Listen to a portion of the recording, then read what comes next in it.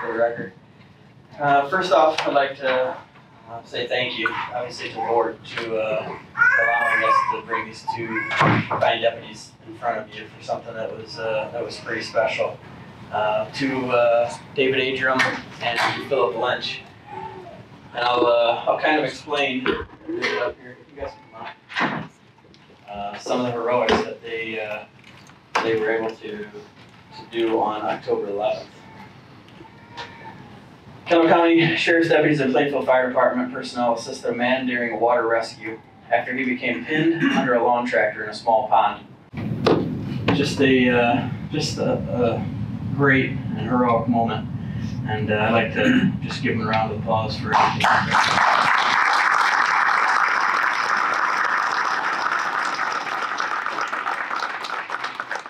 a small piece of their daily job. I mean, um, unwavering ability just to run into some water, not knowing what's underneath, not knowing the surroundings.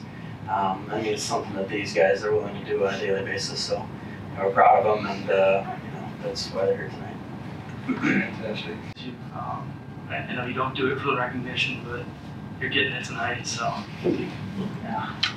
Very proud of you. I know there's people in the audience that may want to speak. I don't know if they want to come up and and say anything or. Somebody. Oh, go ahead, come up. I'm the one he saved. Oh.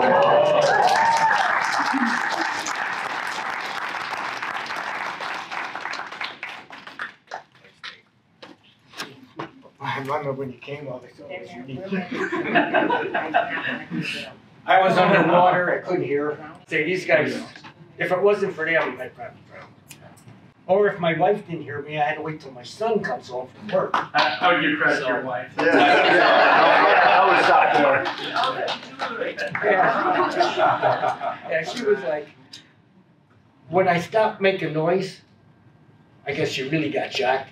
And your nine-one-one person really calmed her down. Yeah. They, that girl in the nine-one-one really kept Janine, Janine keeps telling me how good she was.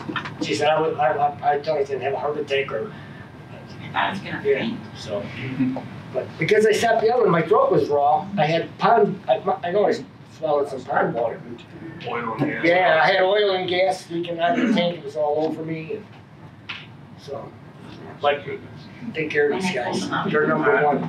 Thank you. If you get a picture of them.